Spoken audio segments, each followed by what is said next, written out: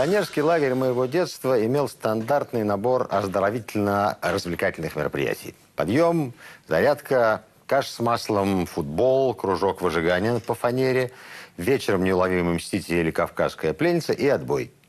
Потом в постсоветские годы лагерь вообще умер как явление, а вскоре стал возрождаться, но уже возрождаться разнообразно. Дмитрий, здравствуйте. Добрый день. А в чем особенность э, тех лагерей, которыми вы занимаетесь? Значит, мы профессиональные путешественники, и мы решили приобщать к путешественникам, путешествиям детей. В 2000 году сделали в Кареде лагерь. Называется «Большое приключение». Дети путешествуют на катамаранах по рекам, на велосипедах по лесам. Вот, но почувствовали, что хорошо, бы, чтобы лагерь был круглогодичный.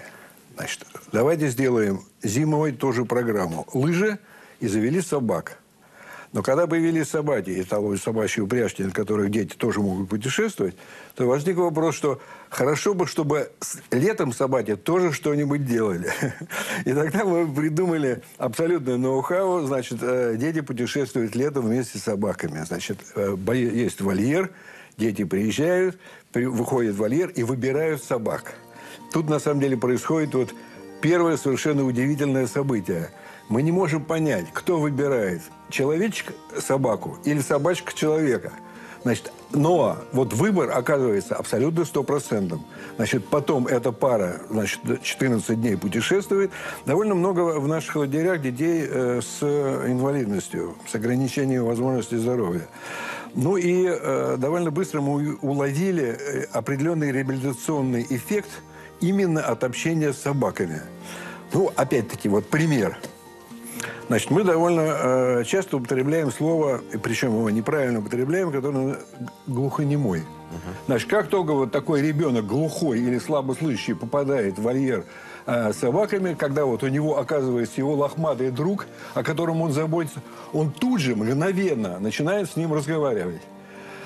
И наши инструктора, которые уже ловят этот момент, и на самом деле все, конечно, абсолютно обучены, значит, они тут же начинают с этим ребеночком тоже разговаривать, инструктора с ребеночком. И таким образом он социально меняется. А как происходит вообще путешествие с собак? Как, значит, как оно готовится? Как оно Если начинается? летом, если летом, вот э, то, что я назвал нашим достижением, значит, у каждого ребеночка вот есть специальный пояс, к поясу пристегивается довольно длинный поводок, и у собаки специальная сбруя. Таким образом, значит, э, ребенок и собака – это вот некая пара. Иногда собака на двух ребятишек, ну и они идут. А хаска как порода вообще? Что, совершенно дружелюбна? Сто процентов? Сто процентов. Сто процентов, да. И вот, э, поскольку все это было очень успешно, особенно по отношению к детям-инвалидам, то четыре года тому назад решили, что давайте попробуем сделать так, чтобы не дети из Москвы ехали в гости к хаскам, а хаски приехали в гости к детям в Москву.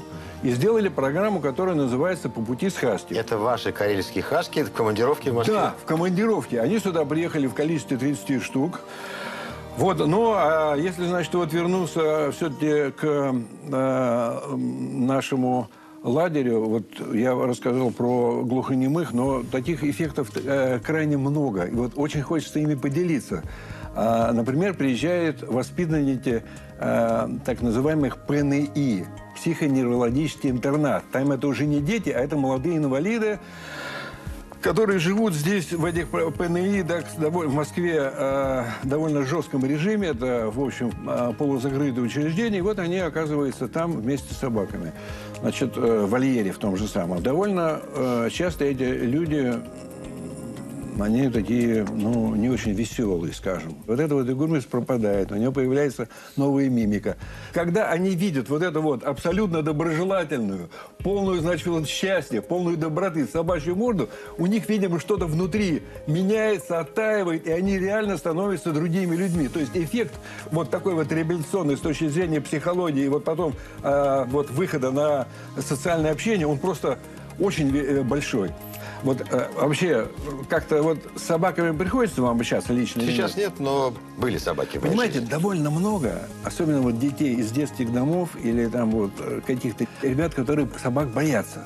Так вот интересно, что после программы в Сокольниках по пути или после посещения нашего большого приключения, вот этот страх перед собакой абсолютно у всех пропадает. Вообще, то, что собаки учат общение э, с собаками делает человека добрее, это более-менее всем понятно, да? Это вот в плане э, психологии, в, пла- в плане характера. Но ведь существуют э, довольно глубокие исследования, которые говорят о том, что общение с собакой для человека и меняет его э, различные физиологические параметры. Например, точно уменьшается фи- физиологический стресс, стресс агрессии там, и так далее, и так далее. А, Я просто подумал, а почему только собаки? Э, Среди мира животных есть многие, которые могут пригодиться. А, а лошади?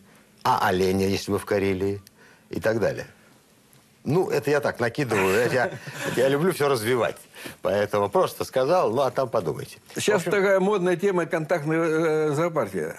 Но все имеет, в общем, свои сложности. Вот. Очень важно все-таки обеспечить детей, э, обеспечить детям безопасность. Вот вы задали вопрос насчет того, насколько они добры и ласковы по отношению к детям, и задали вопрос, сто процентов или нет. Я вам ответил, да, сто процентов. Понятно. Да, я понимаю, какая ответственность на вас лежит. Большое спасибо, Дмитрий. Спасибо.